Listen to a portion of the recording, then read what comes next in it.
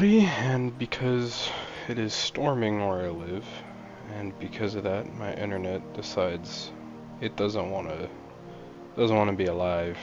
Um, my previous take on this recording stopped midway through, so we're we're gonna do it again. Here's the new 2020 Audi TT RS.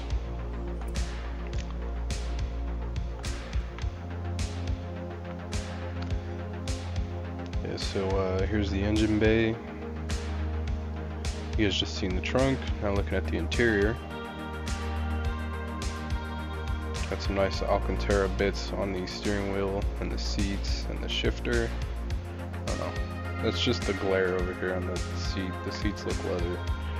Some nice carbon fiber bits on the center console.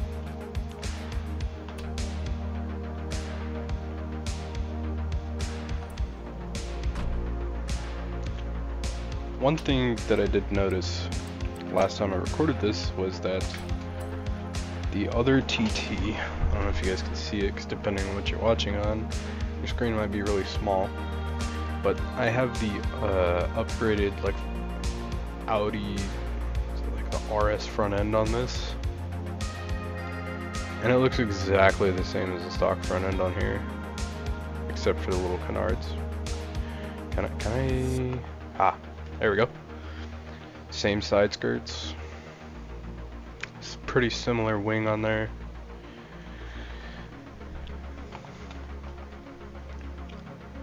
So yeah. And on top of that, the the body style of the two cars. this one's a 2018, this one's a 2020. The only one, even this one, the TTS Coupe from 2015. Look, the same body style. Like this one's obviously different. You can tell it's older, the grill is different, the headlights are a little different. But the body lines are about the same. The trunk line looks a little different. But these two, same grill, just this one's black. Same body lines. Same headlights all the same. And so essentially, the conclusion I came to after quote unquote finishing recording the last take when it went out halfway through is that these two are the same car, just this one's got a black badge. But, one thing before you leave, the one thing I did notice was that the two drive pretty differently. So beginning with the colors as we typically do. The colors, we're gonna the upgrades. Kind of stock in this blue color. I really liked this green and just white, black, and gray.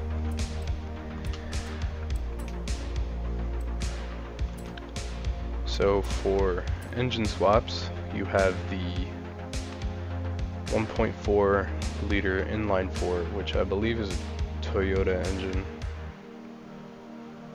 And you have the Racing 3.0 liter inline 6 turbo, which is the 2JZ. So you get two Toyota swaps with the 2020 Audi R, uh, TTRS. And for the aero, it's straight up Forza aero looking absolutely egregious, like a horrible, outrageous. The, the hood pins, I mean, they're kind of pointless to put on there, to be honest. And the rear bumper is just a tow hook. I, when I first clicked on it, you guys should have heard my reaction earlier. I got so excited when I seen all these different things. And then the disappointment that went over my face when I realized that it was literally nothing. So pretty much uh, standard procedure for new cars. We're just going to go through, throw on some random parts. And yeah. I reset everything to default so you guys can see the different options and everything. I left the stock engine in here for transmissions, you got the race transmission, which is 7 speeds. This thing's a 7 speed by default. And you get the 6, the 8, the 9, the 10, and the drift transmission, which is a 4 speed.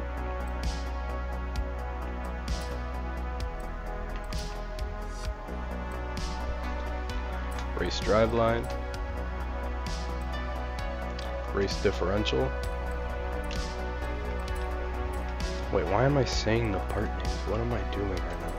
It's not Cameron Builds or like literally any other series. We're doing new cars. I don't have to say the part names.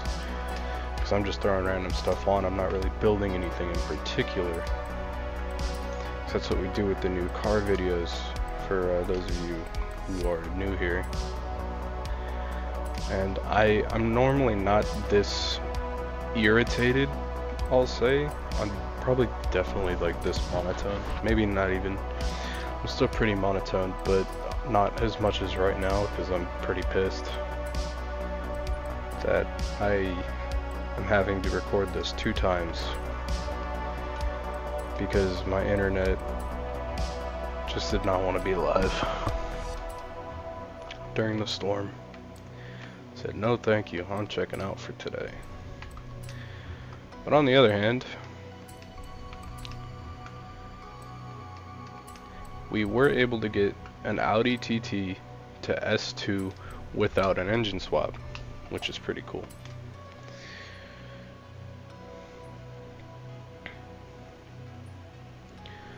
So the thing from earlier drives pretty good on a stock tune, but the one thing I do want to do here is adjust the brakes because if you guys don't really tweak the brakes, the car's going to take corners really wide. And adjusting them like gives you I don't know how to explain it, but either anyway, you can take corners a little more like a, a shallow angle. So pretty much what we're gonna do here is we're gonna do a few laps around the Horizon Mexico circuit, just to for you guys to. What I want is you guys to pay attention to like how the car handles, there's definitely going to be some user errors. I do them, I make them a lot. I might brake a little late, take the corner wide, whatever. Just pay attention to how the car accelerates, how it handles, stuff like that.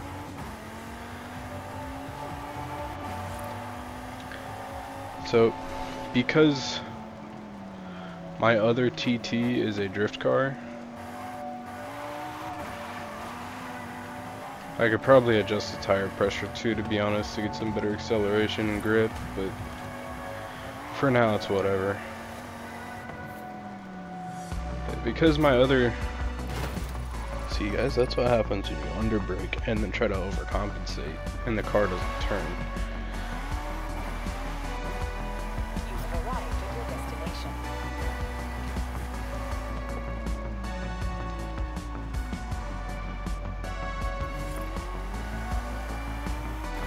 This thing sounds pretty good though, I'll give it that. Yeah, see guys, I make user errors quite a bit. I... You guys should have seen me on the last take, because I didn't adjust the brakes yet. Until like I was already two laps in, so I was like hitting all kinds of stuff. So I guess it's kind of a blessing in disguise that I didn't look completely stupid.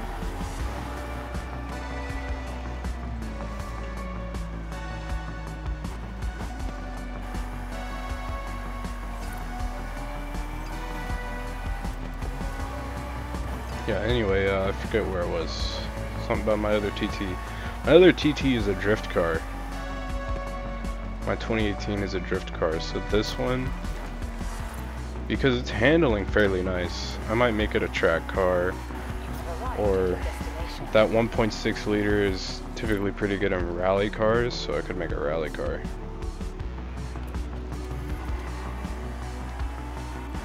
Or throw in the 2J and mind boggle everyone at the drag strip. Now it's raining in game, so uh might have to figure something out there. Yeah, I'm already starting to lose grip a little bit.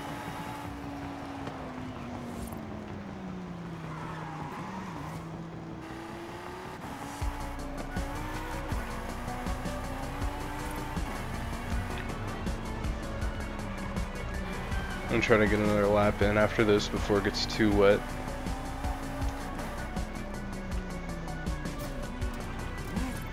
But even though like I'm disappointed that this car doesn't really get any customization, I am seeing some potential in it, given that uh,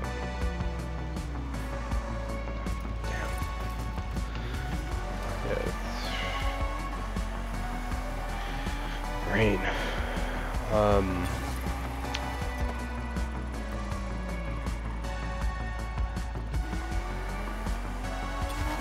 I don't know if I'm gonna be able to get another lap in, to be honest with you guys. I'm not really gonna be able to do anything too crazy while it's raining in game. So I might just have to cut it off here. Or just, yeah. Anyway, I'm going to wrap up some of my final thoughts here, and smaller cars like this, like the TT, like the 8.6, like, I don't know, let's take a gander here. Stuff like the TT, the 8.6, the Fiat 131, like little cars. If I go to my favorites, there's probably a bunch of them. See TT, Civic CRX, Civic Type R, Miata. Can't go wrong with the Miata. Miata is good for everything. Miata is always the answer. Um, 8.6. I have one, two, three, four, and five. I probably have like four more that aren't favorited. MR2. Like all of these smaller cars you could do some crazy stuff with them. Volkswagen Golf is another good one. You could do some crazy stuff with them, for sure. They're definitely fun to mess around with. So, I mean, I would say that this car is worth picking up if you're newer to the game or if you're a collector, but if you're not really too interested in it, uh, might not be worth it for you to be honest because it's cool in its own right, but if you're if you don't really feel like grinding out for it, there's always the other TT that's in the auto show. That am I able to see how much that is on here? Look at the Audi.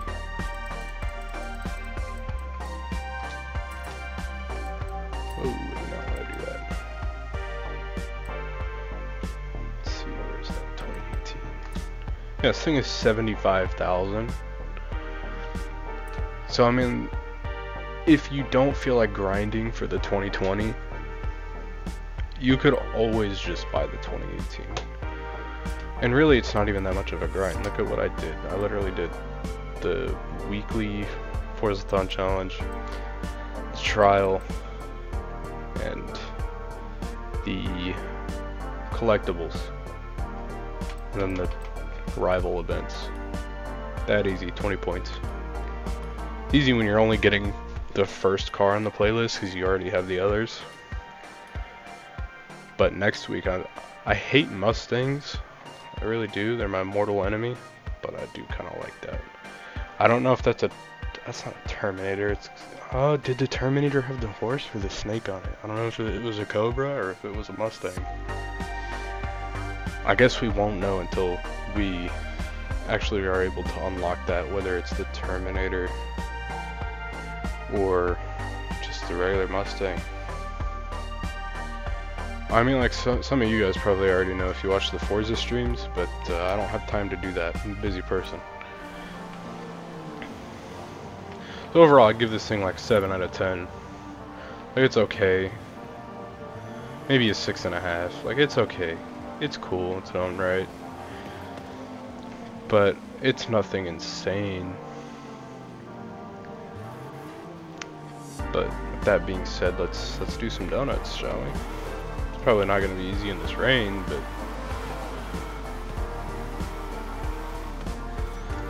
yeah, let's see if we can just kind of vortex it here.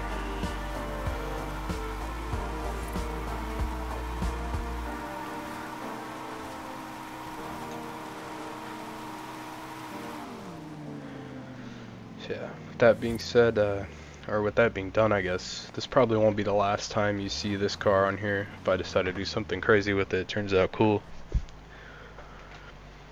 And uh, with that, I'd like to thank you guys for watching and hope to see you in the next one. That's all for me today.